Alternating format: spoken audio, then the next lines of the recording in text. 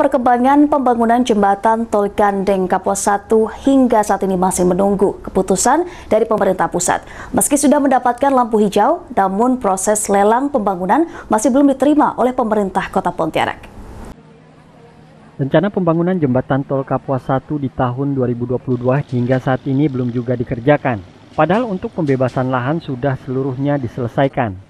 Pembangunan jembatan tol Gandeng Kapuas 1 ini sangat diperlukan mengingat tingginya aktivitas masyarakat memampatkan jembatan tol Kapuas. Wali Kota Pontianak Edi Rusdi Kamtono mengatakan pemerintah Kota Pontianak belum mendapatkan informasi kapan akan dikerjakan jembatan tol Gandeng Kapuas 1 ini. Sehingga saat ini proses lelang masih dilakukan. Masih proses lelangnya ini kan lagi proses apakah sudah selesai atau belum tapi informasinya Januari ini sudah harusnya selesai sehingga sudah harus dimulai uh, di paling lama Desember konstruksinya kaitan pembebasan lahan ya, gimana?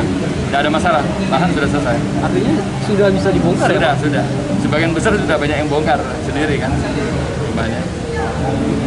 Satu lagi.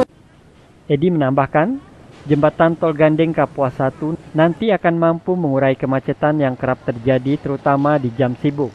Diharapkan nantinya jembatan Tol Gandeng Kapuas 1 ini rampung di akhir tahun. Dari Pontianak, Barlian Pasore Ainews melaporkan.